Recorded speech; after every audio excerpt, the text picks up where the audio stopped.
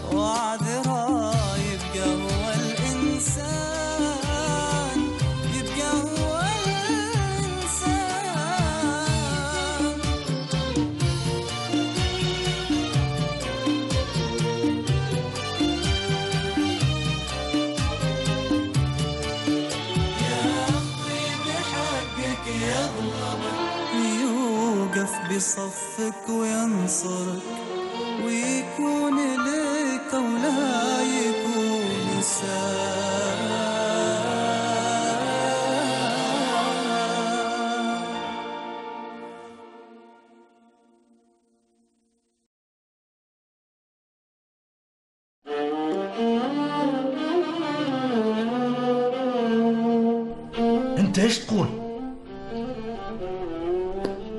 الظاهر والله أعلم إن كل واحد وله عيون يا طويل العمر. وعرفت من هي الشركة المنافسة في المشروع. قريبا بنعرف وأكيد هنعرف لكن لزوم نفكر بالاحتياط من حسه دي. سمعته؟ يقول نفكر بالاحتياط.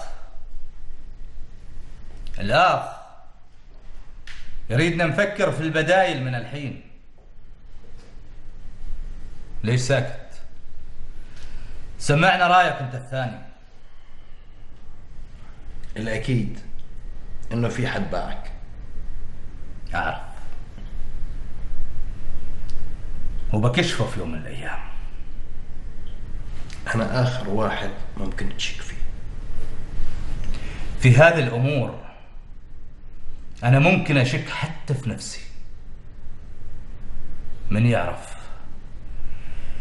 يمكن إني تخاذلت في يوم من الأيام وتكلمت قدام حد. يمكن ولا ما يمكن يا أبو الفضل؟ أمانة عليك. ما تبحلق لي بعيونك وتعاين لي كده. أنا ذاتي أضعف من إني عامل حاجة بالشكل ده. والحين إيش رايك أبو الفضل عنده حق في الاقاله في كل الحالات لازم نفكر في اللي جاي. هذا يعني إني أستسلم. لا! لا طبعا. أنا ما ممكن أترك هذا المشروع بسهولة. لازم تجتمع مع كل اللي يشتغلوا في التحضير للمشروع. وهذا اللي يصير.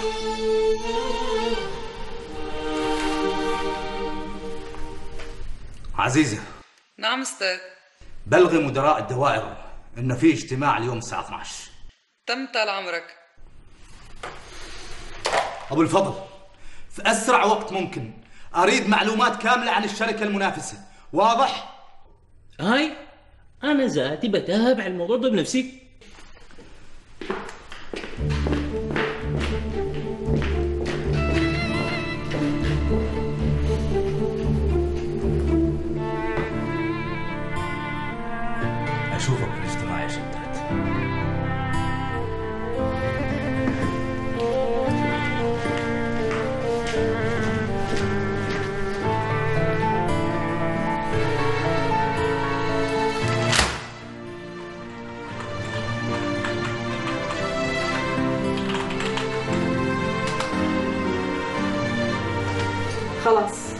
رديت عليهم بالموافقة وطلبية الأستاذ هلال؟ ما نسيتها الحين أكدت عليهم. ووعدوني إن شاء الله بتوصل خلال يومين. وبالمناسبة هو جاي بعد شوي. تأمريني بشيء ثاني؟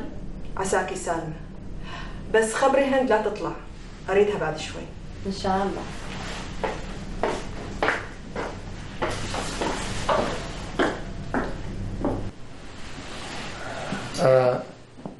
هلال اللي تتكلموا عنه هو هلال أخوي؟ هو. بس الغريب إن أنت أخو الأستاذ هلال الأستاذ؟ لا لا لا. أكيد في سوء فهم في الموضوع. كيف ما يصير؟ كيف هلال هو أستاذ. اللي أنا متأكدة منه إنك أنت ما عندك سوء فهم. عندك عدم فهم. السلام عليكم. وعليكم السلام. حياك ابو المنتصر. تفضل استريح. شكرا اخت وعد جزاك الله خير. تشرب عصير ولا قهوة؟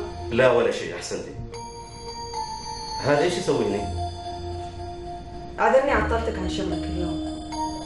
بس بحكم إنك أخوه وولي أمره طلبتك. لا ولا يهمك. انت تطلبيني في أي وقت. عزيز وغالي.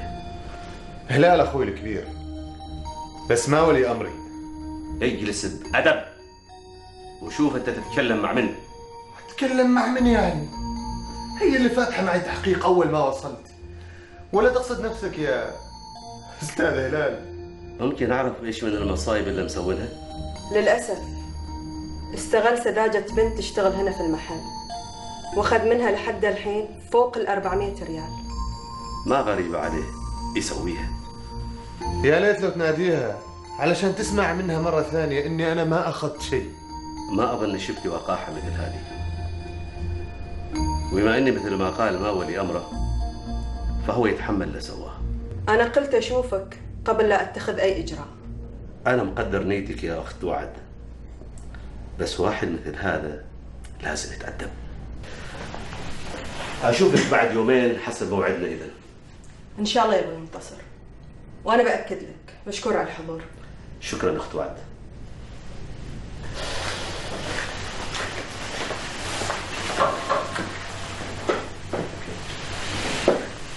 أيوه. وبعدين؟ ماذا قررت المحكمة؟ تفضل يا ولدي. حاول تراجع نفسك. إيش يعني؟ ما ظن ينقصك الذكاء علشان تفهم. ينقصك الفهم علشان تعرف أنت من وكيف عايش. أهلك من خيرة الناس. أقلها ما تشوه سمعتهم يعني ماذا تبلغي عني؟ وليش خايف مدام أنت أنكرت؟ ولا تنسى إن هي بعد أنكرت إنك أخذت منها شيء. لا بس أنا يعني حبيت أتأكد يعني إذا بتبلغي ولا لا إذا هالشيء هام منك تطمن. ما ببلغ. الإحراج اللي كان فيه أخوك ما يعوضه شيء لأنه إنسان نبيل ويستحق كل الخير. ومثل ما قلت لك هي أنكرت. فهمت قصدك.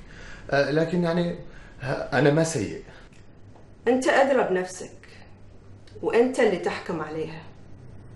الإنسان بنيته وعمله وتعامله مع الناس. تفضل بطاقتك. وتذكر إن اصطياد واستغلال النساء مهنة أنصاف الرجال.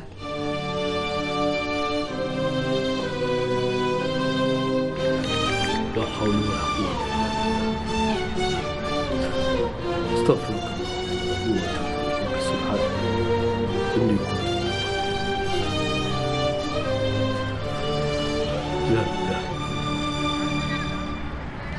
محمد رسول الله. لا حول ولا قوة لا حول ولا إلا بالله. أستغفرك الله وأتوب إليك. سبحانك رب إني كنت من الظالمين لا حول ولا قوة إلا بالله. لا حول ولا قوة إلا بالله. أستغفرك الله وأتوب إليك. سبحانك كنت الظالمين سبحانك كنت من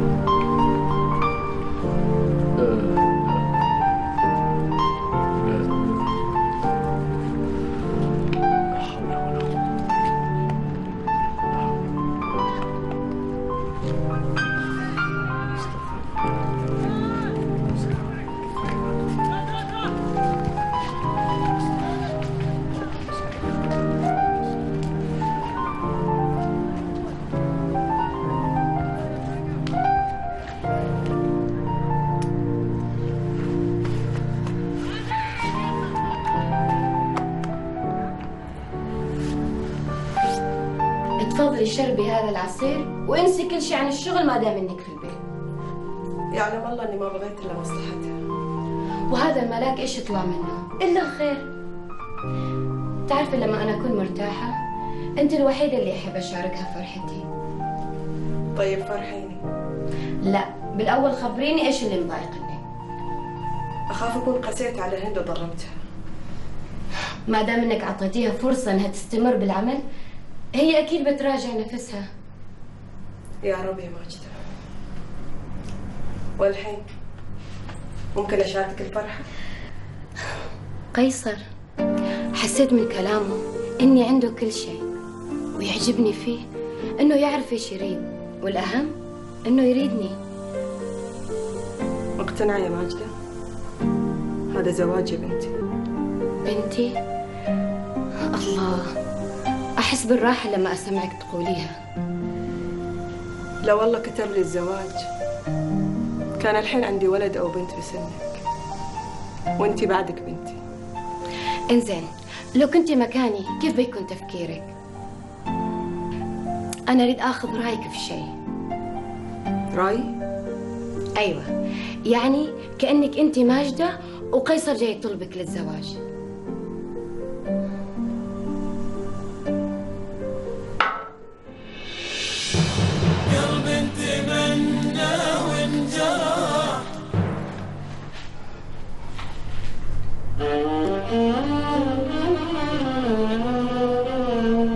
كنت في يوم من الأيام في موقفك.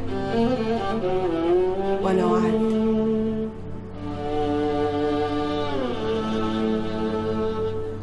بتكوني مجنونة لو وافقت على هذاك اللي اسمه مبارك. احترم نفسك واحفظ لسانك. أكيد ما بترضي فيه لأن أنت اخترتيه. أنت نسيتي هو إيش في البيت؟ مطراشي. يودي ويجيب بس. اسكت.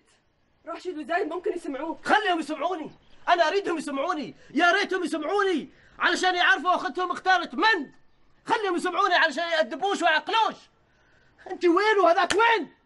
اهدأ اهدأ. انت ليش كذا اليوم؟ وعد. صدقيني انت تستاهلي أحسن منه انت ما مخلوقة لو الأمثالة. انت ما فاهمة شيء. انت بتخليني ألوم نفسي لأني خبرتك. لأنك القريب مني. أيوه. أيوه أنا. أنا القريب منك. أنا القريب منك يا وعد. عمتي أنت معاي؟ أنا آسفة. ما قصدي أذكرك بشيء يجرحك. تذكرت لأني ما نسيت. وما قادرة أنسى. ملامح الماضي بدأت تتكشف الحين. وهذا هو العذاب.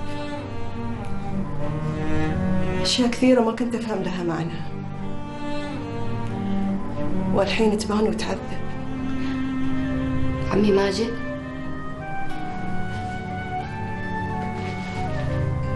آه لو تعرفي إيش من الجنون اللي كان عليه. ظلمني ماجد. وأنا كنت له كل شيء. كنت الأم والأخت. وصل عمره عشر سنين. وأنا اللي أسبحه. وأنقي له ثيابه. وذاكر له. كنت ما أنام لما اطمن إني انام وإذا حم أتمنى المرض يجيني وهو لا.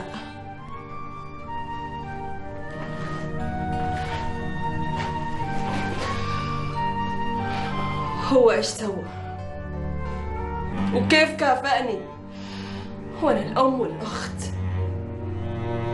ظلمني وقهرني. سكين في قلبي وخلاه ينزف لحد اليوم. خلاص يا عمتي خلاص. خلينا نغير الموضوع. وأنا آسفة لأني سألتك. سامحيني يا عمتي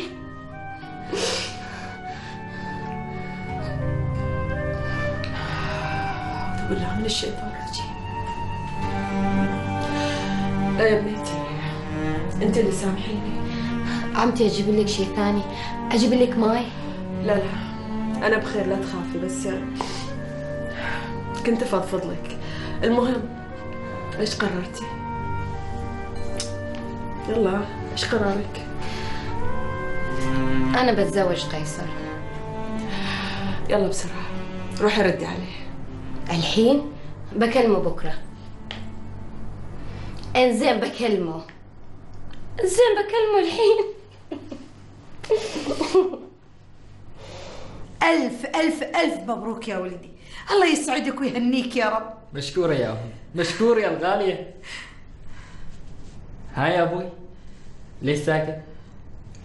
أنت طلبت موافقة ماجدة.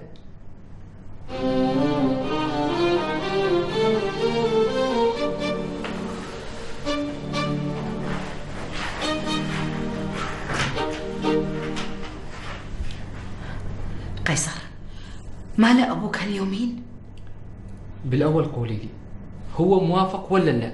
طالما ما قال لك لا يعني هو موافق هو ما قال لا لكن بعده ما قال نعم لأنك ما خبرتني هو ليش متضايق طول الوقت كيف يعني؟ بنعيد نفس السالفة الأولية وآخرتها يطردني؟ يا أمي يا أمي أنا أريد أخلص موضوعي والله قيصر ما بفتح حلقي قدام حد يلا تكلم عاد. يلا قيصر لا تصير بغيض. أبوي مشغول بمشروع كبير وصاير فيه شوية مشاكل. مشاكل؟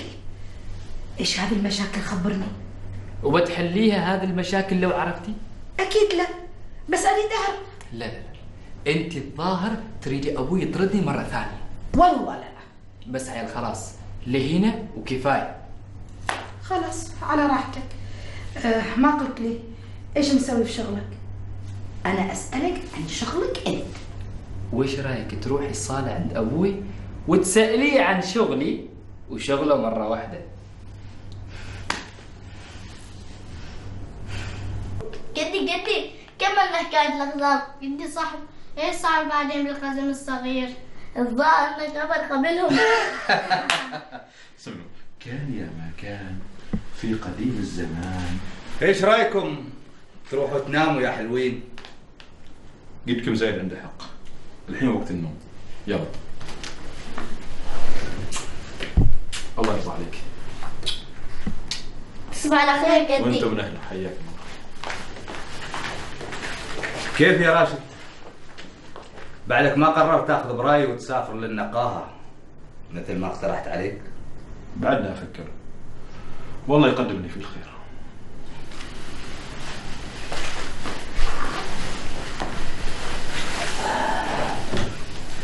توقعت إني أشوف وعد عندك هنا. مثل ما قلت لك في يوم إحنا الثلاثة ما عاد نتجمع مثل أول. يمكن لأن إحنا الحين ما مثل أول يا راشد. أحس راسك مشغول بالتفكير في شيء. طول عمرك لماح وتقرأ أفكاري وتنفذها. لكن الحين خلاص يا راشد ما عدت مثل أول.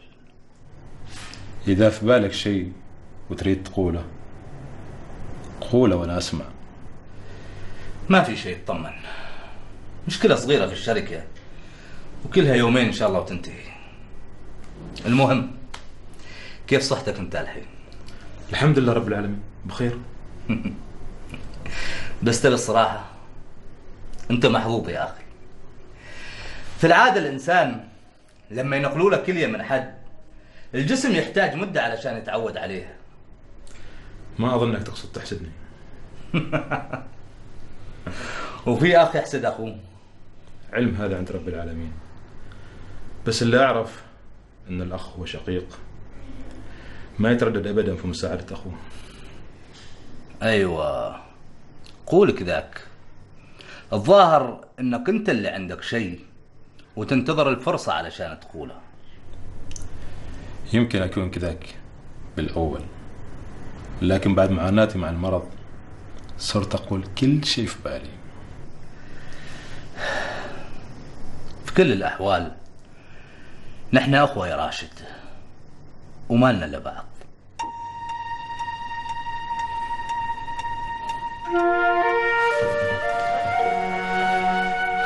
والظاهر إنه بيظل خيرنا بيننا ما فهمت.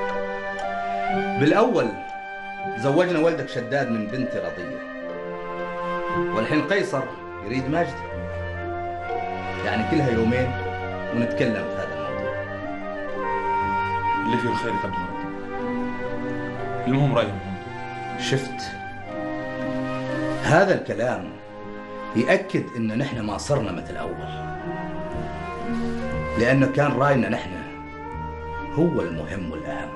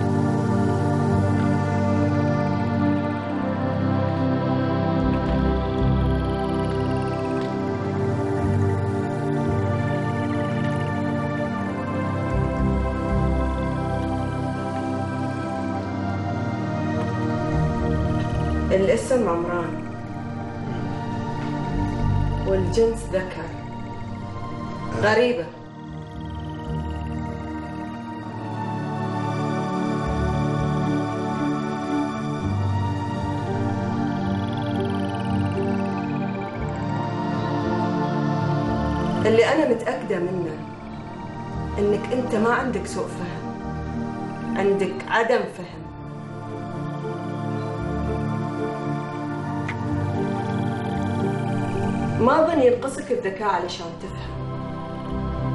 ينقصك الفهم علشان تعرف أنت من وكيف عايش. أهلك من خيرة الناس. أقلها ما تشوه سمعتهم تفضل بطاقتك. وتذكر أن اصطياد واستغلال النساء مهنة أنصاف الرجال.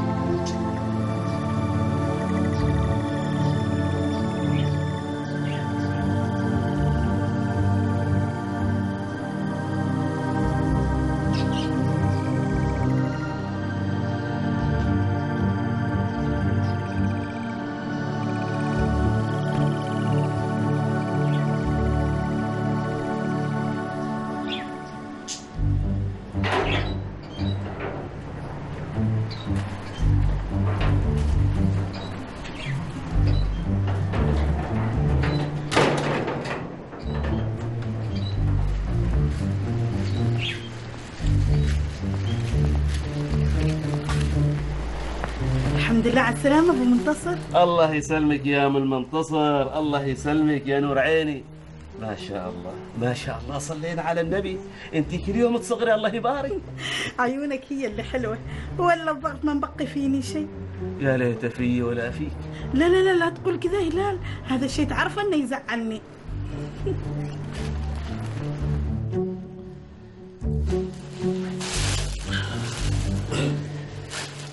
لا تنسى عشاء عمران لما يرجع من سهرته. عمران في غرفته صار له يومين ما يسهر يا ريتك لو تراضي.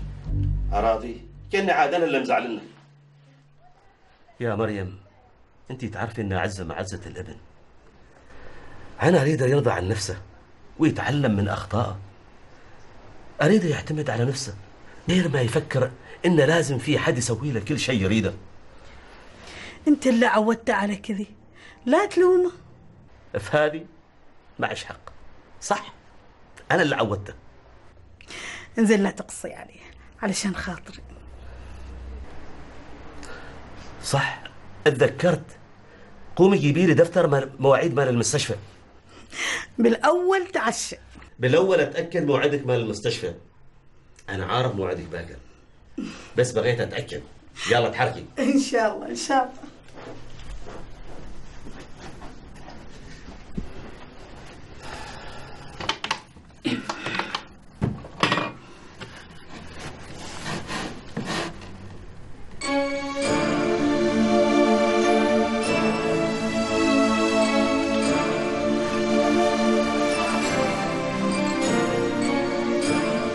وبعدين معك يا مريم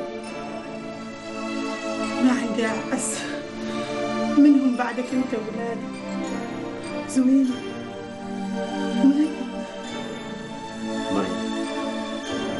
أنا بعدنا أنتظر الدفتر.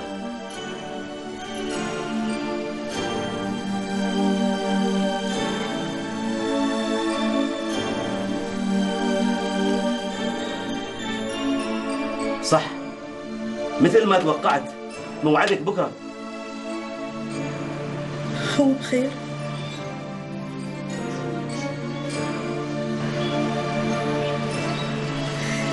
اللي مثله ما يستاهل لك الخير. إذا كان هو معنى من معاني الخير فأكيد ما بيستاهل لكل خير. عمري عمري ما بنسى أفضاله مع زوينة ومعنا لا لا. ترابي يتضايق لو عرف سالفة الدموع هذه.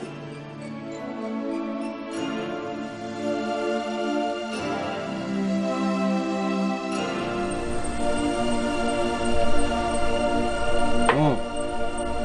قول إيش عندك؟ وراس أمي وأبوي. لا تحلف. وادخل في الموضوع على طول.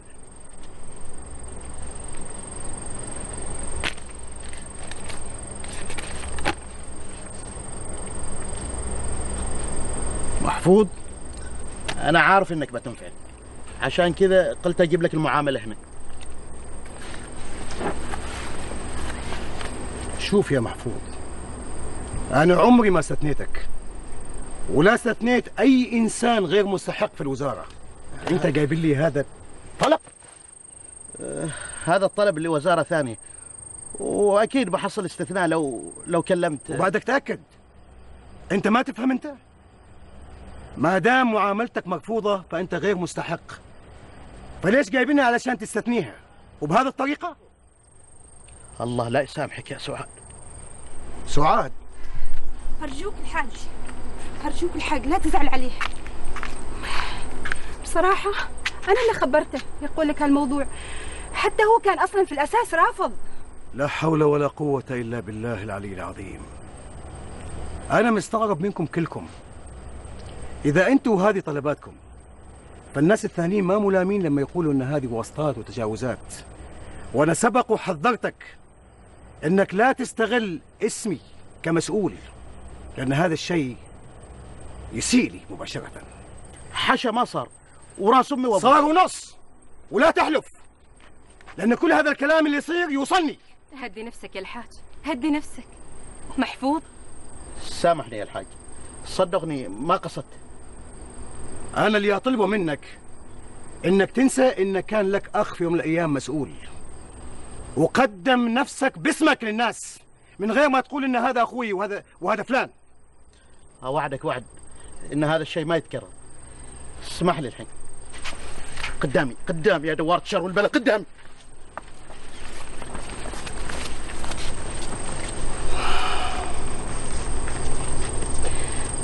الله يكون في عونك علينا يا أخوي. أنا عيوني لكم لكن ما بالطريقة اللي استخدمها محفوظ لأن هذا الشيء يسيء لي. تفضل استريحي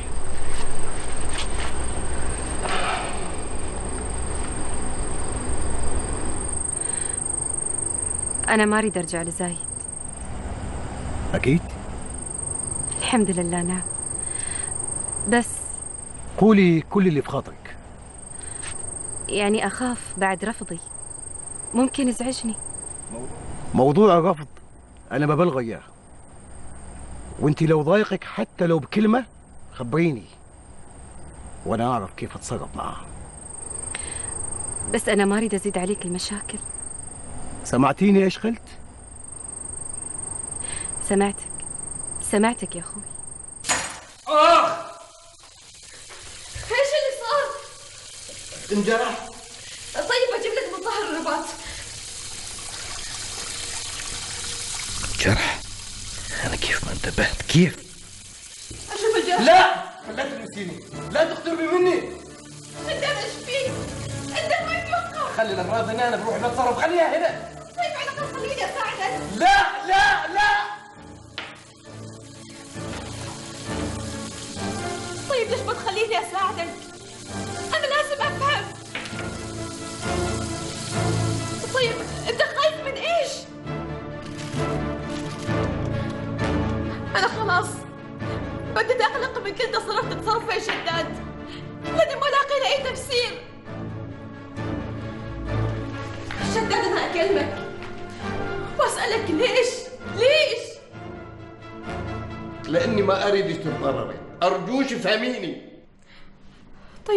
حبيبي. ريحني وريح نفسك. يا ريت لو يا ريتك تسامحني. أنا مسامحتك والله العظيم سامحتك يا شداد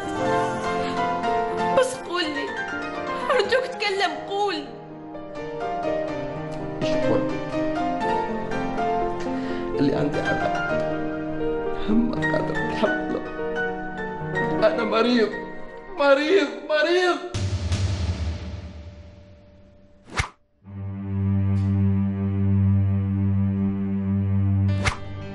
أنا أعرف. لكن هذا الخير أنا أعرف.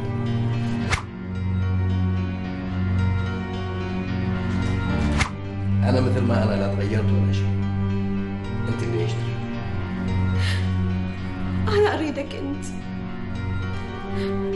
أريد زوجي إيش اللي سويته في نفسك وفينا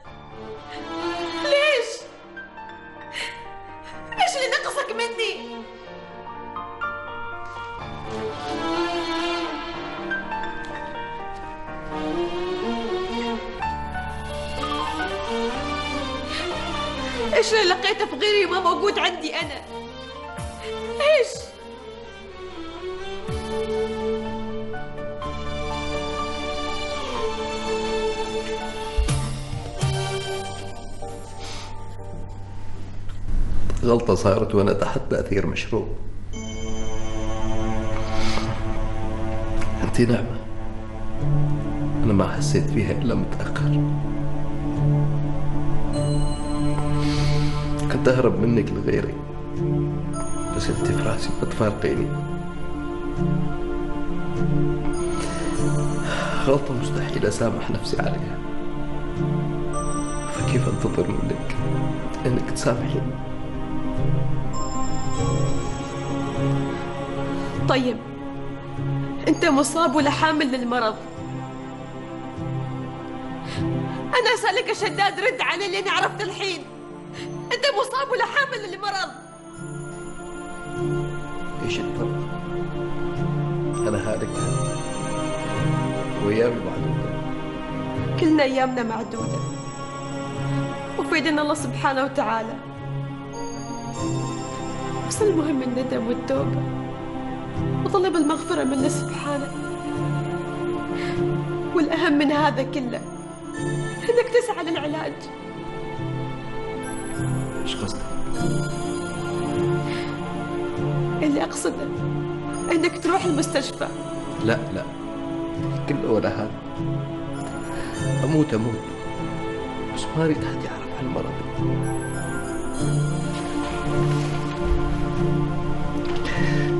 إذا كنت تعزيني حفظي سري وستريني أرجوش. أرجوش يا ربي لا ترجعش عين بكت حزن وفراغ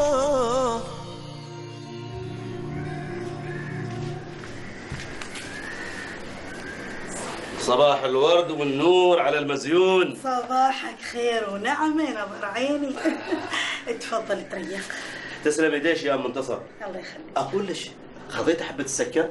خذيت حبة السكر وحبة الضغط اطمن بالهنا والعافية إن شاء الله. يعافيك إن شاء الله. الشايب خميس أشوفه اليوم مغبش بالسمك. تستغرب لو أقول لك من اللي جايب لنا السمك.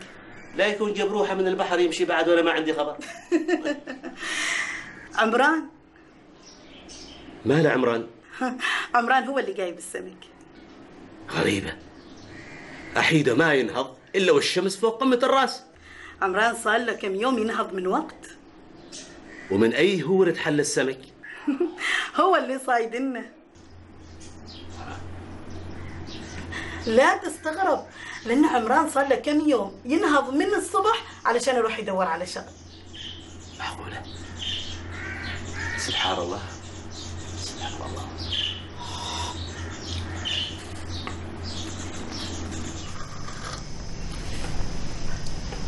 كلمني زايد. يريد ماجدة لقيصر. كأنك عارفة. أنا أعرف إن قيصر يريدها وهي موافقة. إيش اللي شاغل بالك؟ بعد ما لغينا التوكيل تخيلت أن زايد بيثور ويغضب. إلا أن ردة فعله تعامل مع الموضوع بهدوء وسكينة وهذا شيء يخوفني. إيش بيسوي يعني؟ راشد أرجوك لا تحسسني إنك خايف منه وتريد تتراجع. صدقيني لا بس ردة فعله غريبة. خل عنك زايدة الحين. بنتك ماجدة محتاجة تفرح. ومن يدري يمكن بزواجها أشياء كثيرة تتغير.